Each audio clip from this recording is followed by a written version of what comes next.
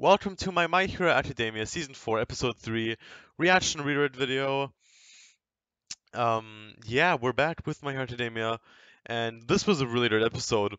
That post-credit scene, though, I am not ready for the next episode. and then I said it, it's episode 4, and Deku and Overhaul are already meeting, like, what?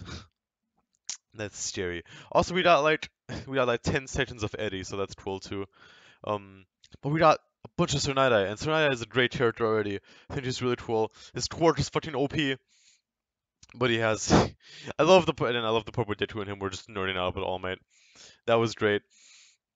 Um, I guess we're trying to set up like who's gonna like of class 1A who's gonna actually be important during this arc because we set out that um not everyone is gonna you know get the spotlight again.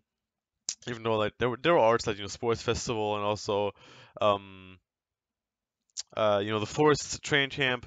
A lot of characters got like a lot of cool moments there, but I think we're setting we're you know we're setting up like okay, Deku, um, Tokoyami, Kirishima, Uraraka, and Tsuyu are gonna be only really important characters for this arc. Um, just for um class 1A and also to be kind of doing that like you know for a lot like ever since season 2 uh in sports festival bunch of characters start to do cool stuff um uh, and then in the um, Stain arc, not that many people got to do as much cool stuff. The final arc, uh, the final exams arc, more people got to do cool stuff.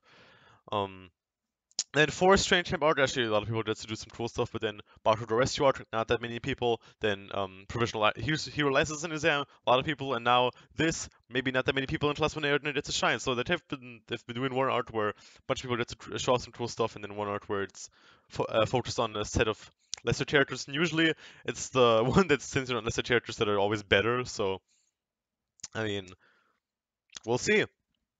Um, yeah, Sir Nighteyes. I mean, he's overpowered. He can literally see the future for an hour if he touches you and looks you in the eyes.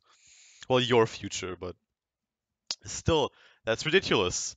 Um, also, the fact that Overhaul is currently standing in front of Deku is also ridiculous, but whatever. yeah, um, full reaction is in the description down below. It is on Verystream and BitChute. I'm having a hard time talking right now. I don't know why. But uh, I'm just to wrap this up. Thank you guys for watching. Hopefully you enjoyed the full reaction. Um, tomorrow we'll actually have AOT most likely. I hope it's tomorrow, maybe on Tuesday, but it, I'm gonna do my best to try it up on uh, up on Monday. I can't form sentences right now. I just need to stop. Um, and check out the full reaction, and hopefully you enjoy. And I'll see you guys there.